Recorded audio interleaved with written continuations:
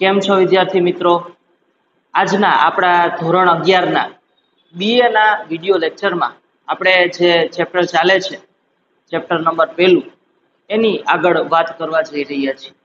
આપણા અત્યાર સુધીના પ્રશ્નોમાં આપણે ઘણી બધી વાતો વિશે ચર્ચા કરી, કે ધંધો કોને કહેવાય?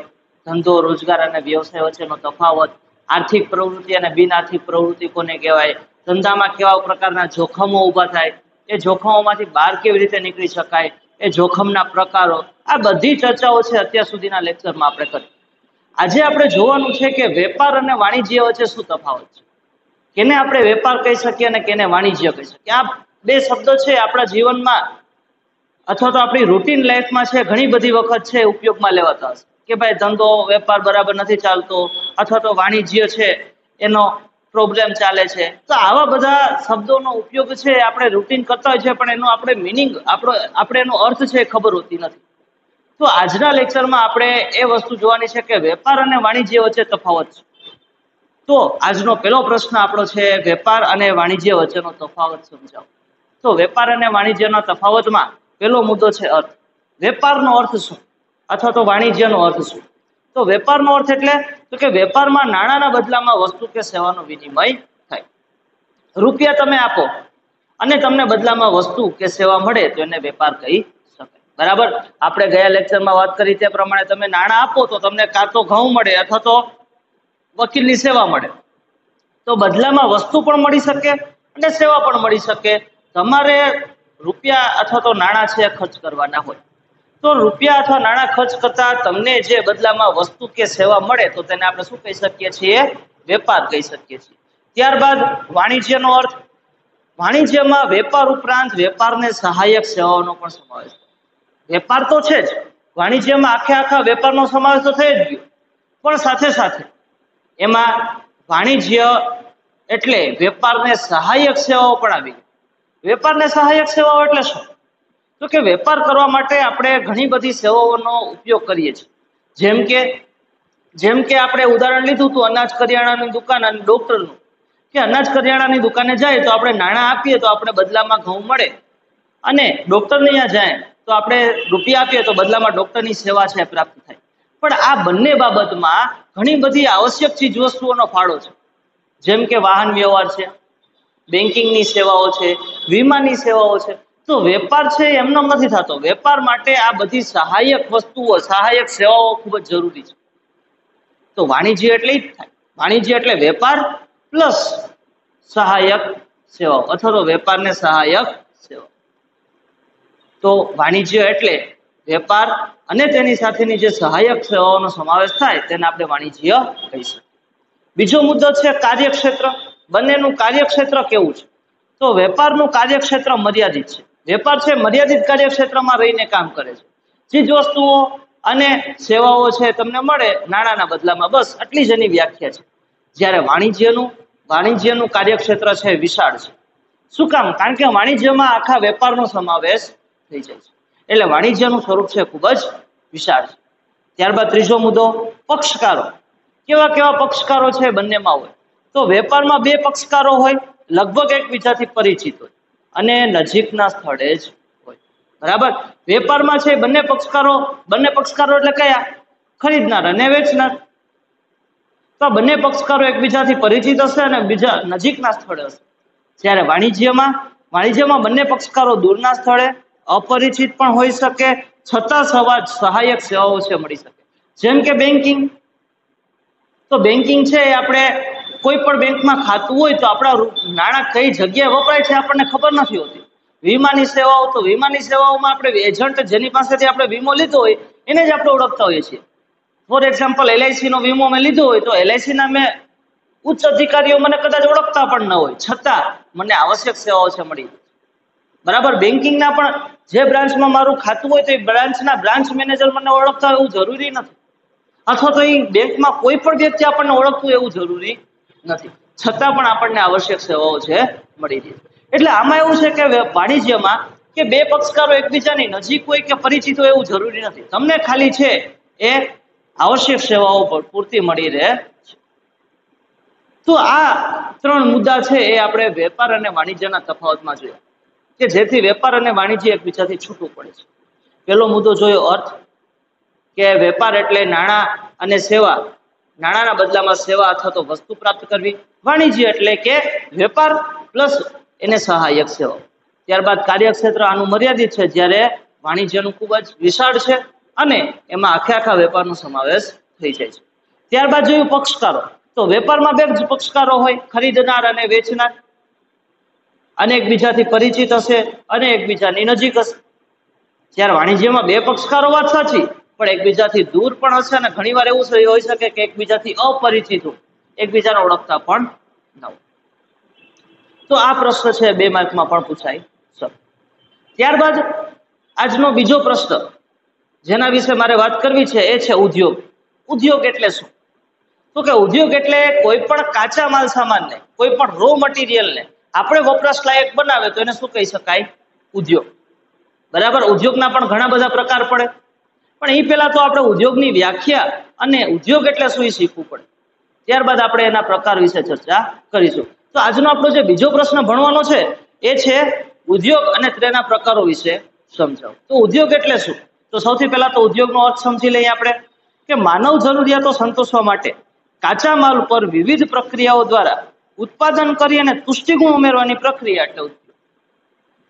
કે માનવ જરૂરિયાતને સંતોષવા માટે આપણી જે જરૂરિયાત છે, જરૂરિયાતને પહોંચી વળવા માટે જે કુદરત તરફથી આપણને જે કાચો માલ એટલે કે રો મટીરિયલ મળે છે, એના ઉપર જુદી જુદી રાસાયણિક કે યાંત્રિક પ્રક્રિયાઓ કરો અને એ માલસામાનને વાપરવા લાયક કરો અને એના તુષ્ટિગુણમાં વધારો કરો, તો એને ઉદ્યોગ કહી શકાય.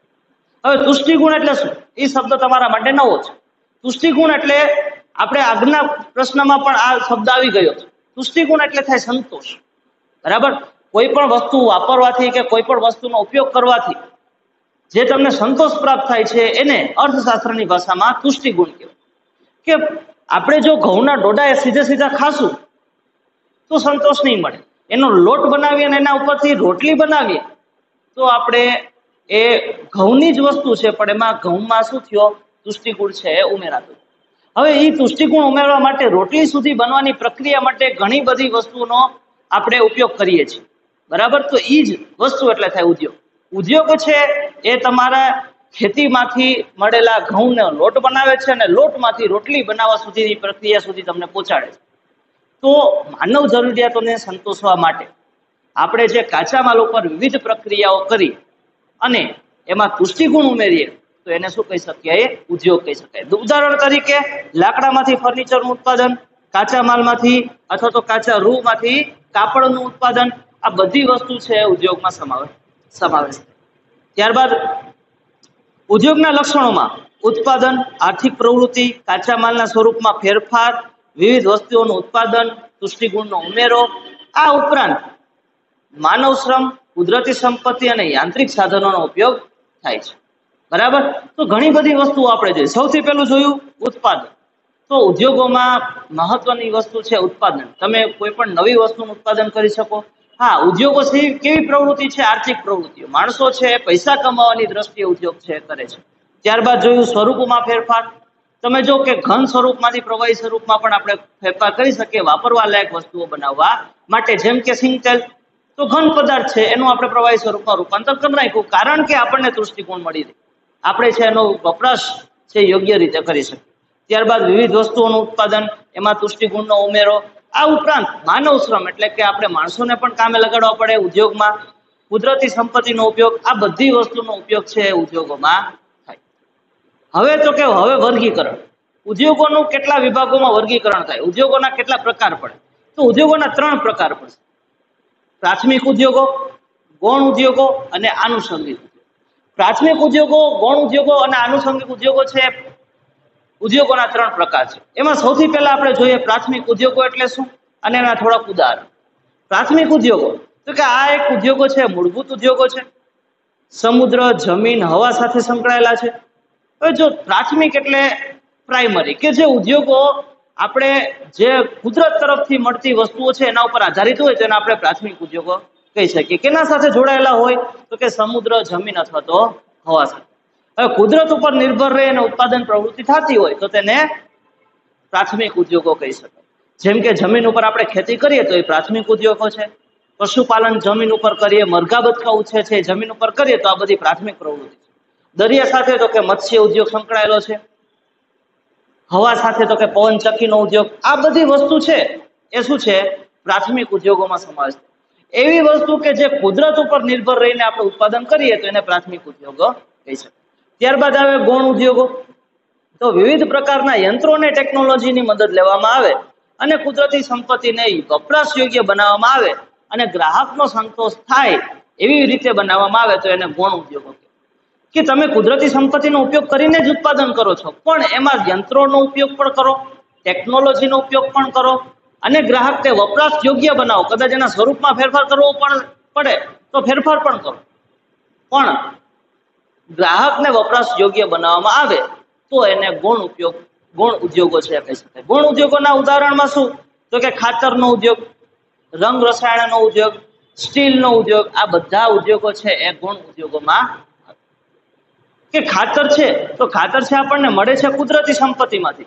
પણ આપણે એના ઉપર રાસાયણિક અને ટેકનોલોજીની મદદથી એનો ઉપયોગ છે એ વધારે કર્યો અને એમાં પુષ્ટિગુણનો ઉમેરો કર્યો અને આપણે એને ગુણ ઉદ્યોગો છે કહી શકીએ. ત્યારબાદ છે આનુષંગિક ઉદ્યોગ. આનુષંગિક ઉદ્યોગ એટલે શું? તો કે આનુષંગિક ઉદ્યોગ છે ને આ બંને ઉદ્યોગો કરતા વિશાળ કાર્યક્ષેત્ર આનુષંગિક ઉદ્યોગોની એક લીટીમાં તમે વ્યાખ્યા કહી ન શકો. આનુષંગિક ઉદ્યોગ એટલે પ્રાથમિક અને ગૌણ ઉદ્યોગોને સહાય હોય. એવી ઉદ્યોગો કે જે પ્રાથમિક અને ગૌણ ઉદ્યોગોને સહાય પારે પૂરી પાડતા હોય એવા ઉદ્યોગો. ઉપરાંત આ ગ્રાહકોની નજીક હોય અને પ્રાથમિક અને કોણ ઉદ્યોગો પાસે પાસેથી પેદાશ મેળવી અને તેમાં પુષ્ટિગુણનો ઉમેરો કરે એવા ઉદ્યોગોને આનુષંગિક ઉદ્યોગો કહી શકે. દાખલા તરીકે ડેરી ઉદ્યોગ, ઠંડા પીણાનો ઉદ્યોગ, બેકરી ઉદ્યોગ, આ બધાનો સમાવેશ છે આનુષંગિક ઉદ્યોગોમાં. ડેરી ઉદ્યોગ, તો ડેરી ઉદ્યોગ એટલે શું? તો કે પશુપાલન છે, પ્રાથમિક ઉદ્યોગ થઈ ગયો.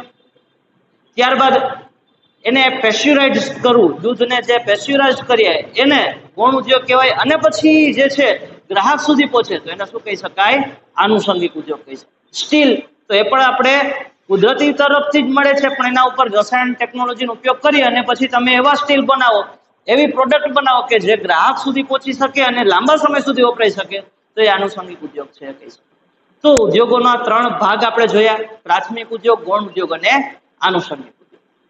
તો આ તમારે પ્રશ્ન છે એ મોટા પ્રશ્નોમાં એટલે કે ચાર કે પાંચ માર્કમાં પણ પૂછાઈ શકે હવે આજના બે પ્રશ્નો જોયા, ફરીથી રિકેપ જોઈ લે. કે આજના બે પ્રશ્નોમાં પહેલો પ્રશ્ન જોયો આપણે વેપાર અને વાણિજ્ય વચ્ચેનો તફાવત. ત્યારબાદ આપણે બીજો પ્રશ્ન જોયો, ઉદ્યોગ અને તેનું વર્ગીકરણ. જેમાં આપણે ઉદ્યોગોનો અર્થ જોયો.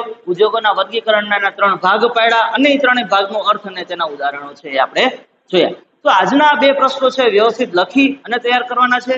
વિદ્યાર્થી મિત્રો, આ મહિનાના અંતમાં તમારે એક પરીક્ષા છે આપવાની. છે આ પરીક્ષા છે આપણા વીડિયો લેક્ચર અને તમે કરેલા હોમવર્ક ઉપર જ આધારિત હશે. એટલે વ્યવસ્થિત રીતે તૈયારીમાં મંડી પડો. જેથી કરી અને સારામાં સારો સ્કોર છે અગિયારમાં કોમર્સમાં. પેલી જ પરીક્ષામાં છે તમે સારામાં સારા માર્ક મેળવી શકો, સારો સ્કોર કરી શકો. સતત અભ્યાસ કરતા રહેવા ખૂબ જ જરૂરી છે. બરાબર છે? એટલે આજનો લેક્ચર આપણે અહીંયા પૂરો કરીએ. બે પ્રશ્નો છે વ્યવસ્થિત રીતે. તૈયાર કરી, પાકા કરી, લખવાના છે. અને નેક્સ્ટ લેક્ચરમાં આપણે ફરી નવા પ્રશ્નો સાથે મળીશું.